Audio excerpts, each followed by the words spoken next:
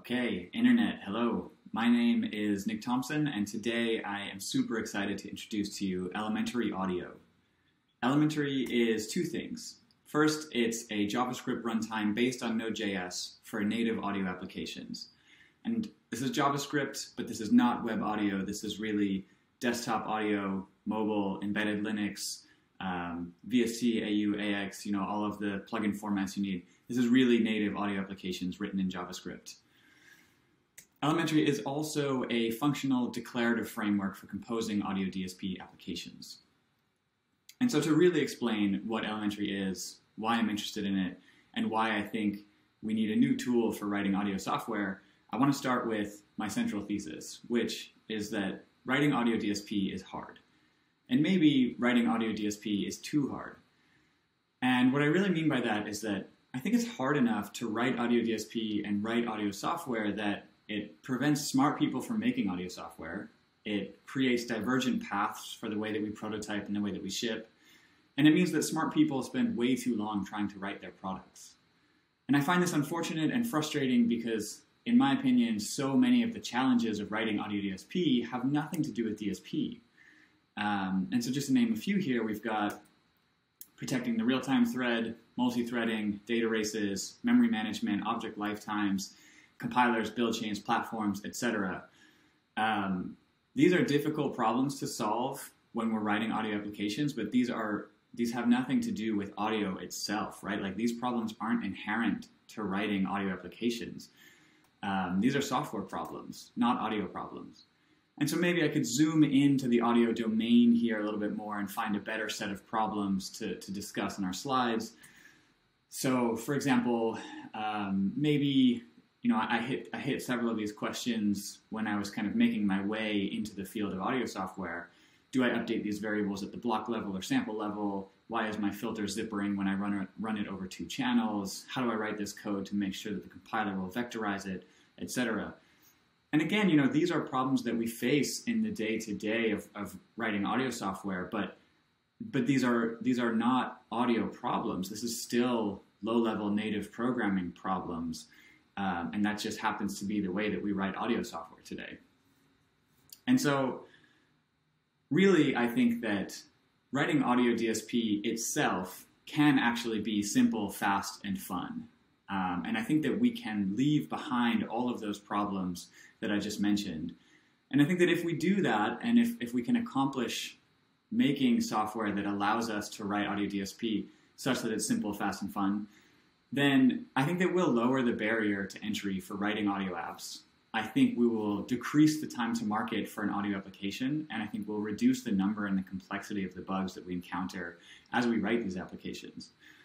And so, you know, to revisit each of these in a little bit more detail, for the first case, I think a lot about myself um, when I was just getting into just getting into audio software. I mean, I started my career as a web developer, and for many years, I knew that I wanted to get into audio software, but I felt like I had the wrong skill set, or I felt like um, you know maybe I wasn't smart enough, or at least that it would be really hard to make that transition from a career perspective.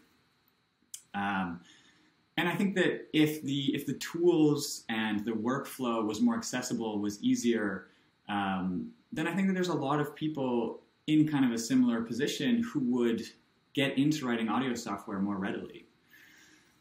Um, and for the time to market bullet, um, you know, really what I think Elementary can do is uh, I want to eliminate this gap between prototyping and production um, so that we don't spend up like time and energy prototyping our software in one way and then rewrite our software in a different way to take it to market.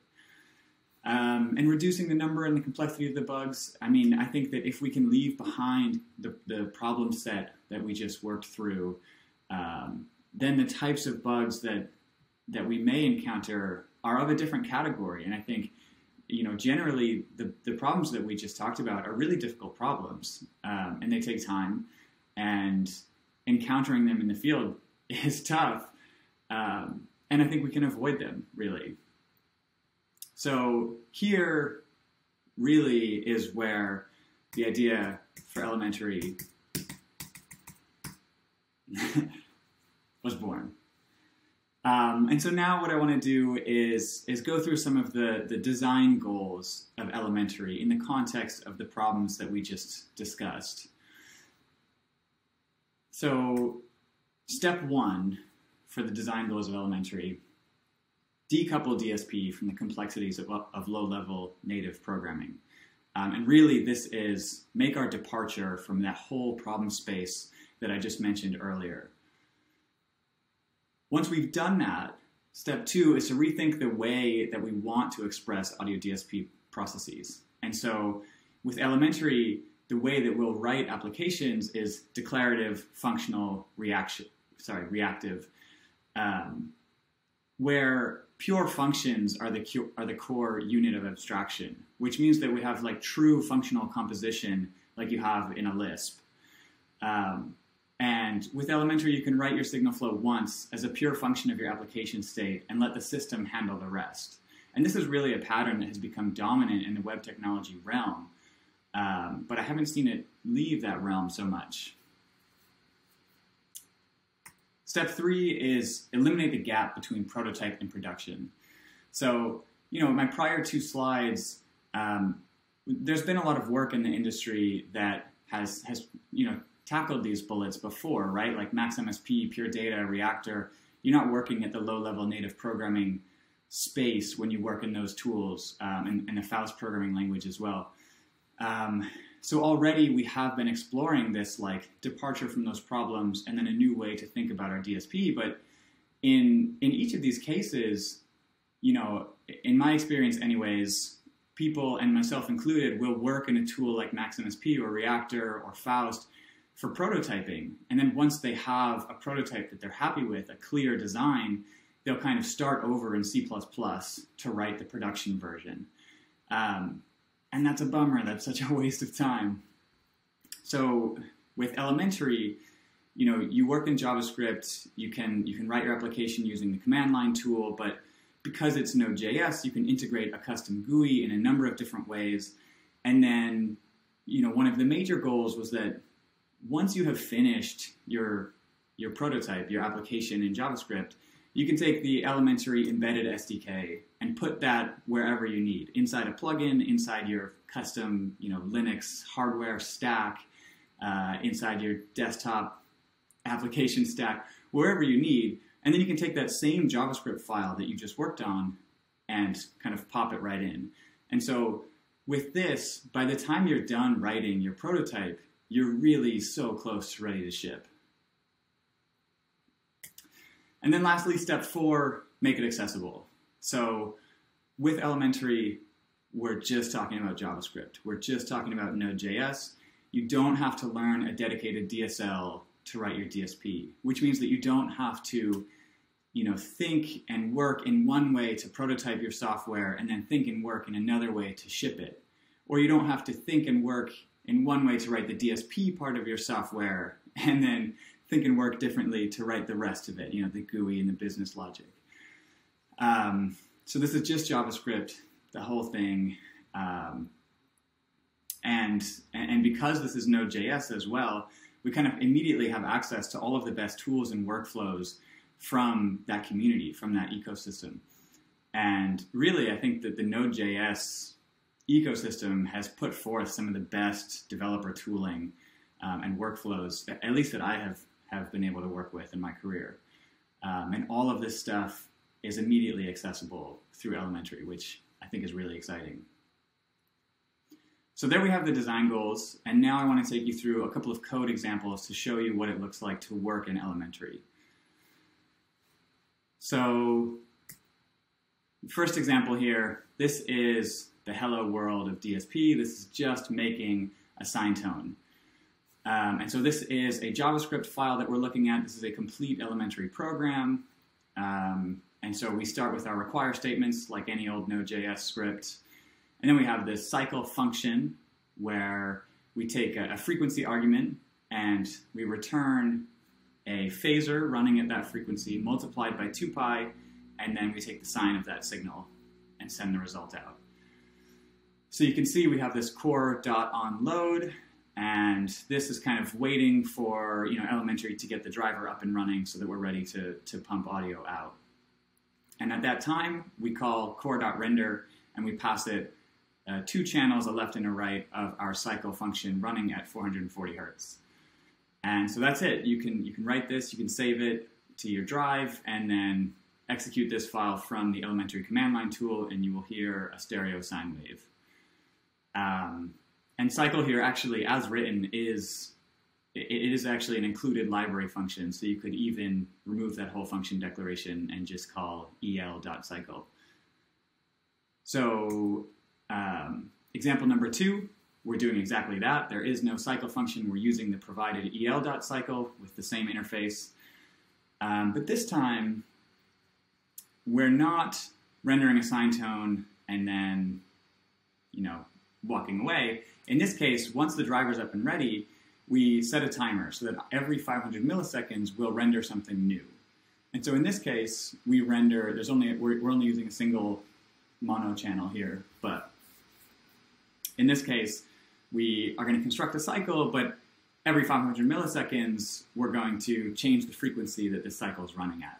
And this is not a very musically compelling example, you know, random frequencies between 440 and 880, but um, but I think the interesting thing here is that five, every 500 milliseconds, we're changing our audio signal, our audio flow, right? And we're just handing this over to elementary with core.render, and elementary will take care of the rest. So here really demonstrates that you can write your signal flow, you know, once as a function of your application state, and we'll explore this more even in the next example, um, and let the system handle the rest. So this here is an abbreviated um, polyphonic sine tone synthesizer, and it's abbreviated because I'm omitting uh, primarily this update voices function. But in general, we start with a voices array that can be as long as you want, and each voice has a gate and a frequency, which are the important pieces. now, this time after we've got the load event, we set a new event handler and this is for MIDI input.